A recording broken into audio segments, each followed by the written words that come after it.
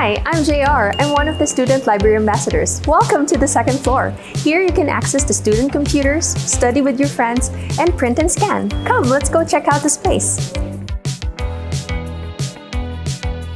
So this is our group study area wherein you can collaborate quietly with your friends. We like to call them the Harry Potter tables for obvious reasons.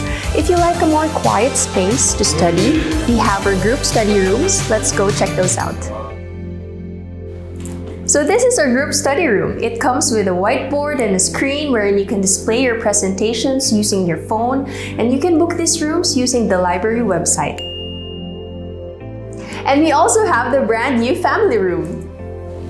So we are here at the family room wherein parents can be with their kids while they're studying. We have a chalkboard, books, and even play tables. Come on, let's go look at the printers. So this is one of the four printer stations here in the building.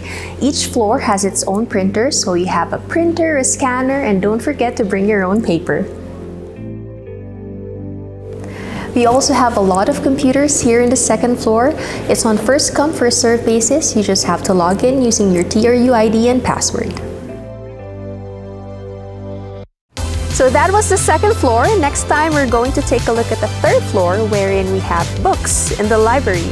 So make sure you subscribe so you know when that comes out and I'll see you next time.